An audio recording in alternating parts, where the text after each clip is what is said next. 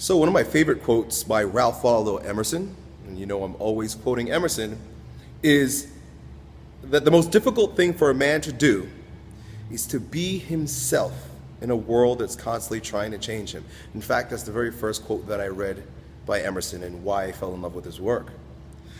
He wrote that about a 100 years ago, over a 100 years ago. And for him to have echoed that sentiment when we, the mass psychology of the time was not nearly as intertwined as it is today. The cities were smaller, he lived amongst nature, and there was no internet. Meant that he felt the pressure of conformity associated with putting his art out there for people to enjoy or to criticize. And there was a large time lapse between his creativity and that feedback. Do you see? So if he produced a piece of artwork, you know, an essay that he wrote or that he spoke, he might not get feedback until months later when someone reads it and maybe writes him a letter.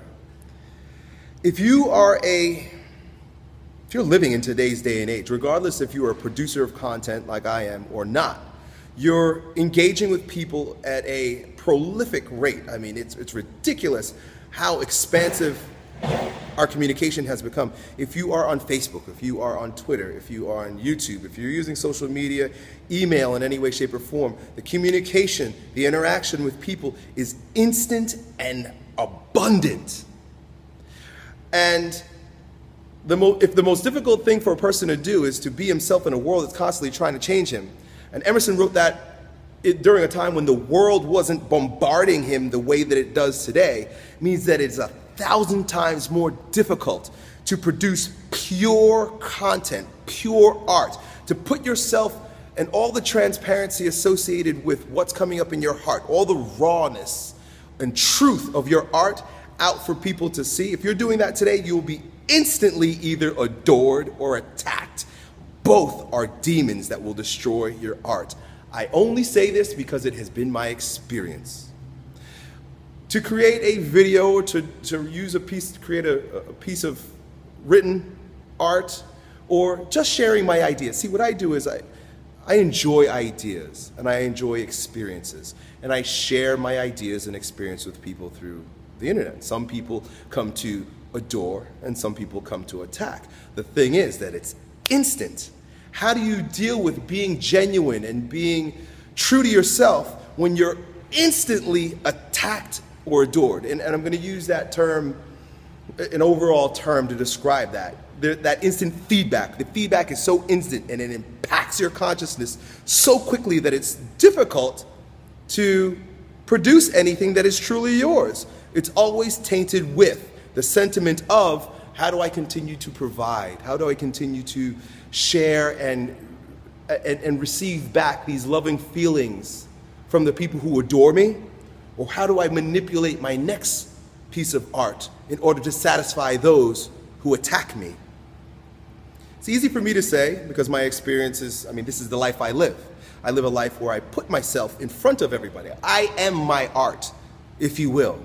I speak and I, and I share. That's what I do. I make videos, you know, like Emerson wrote and he stood up and, you know, in, he was an orator. That's what they called it at the time. He spoke to crowds. Me, I speak to crowds through my iPhone like I'm doing right now. And the feedback, like I'm gonna upload this and there'll be comments.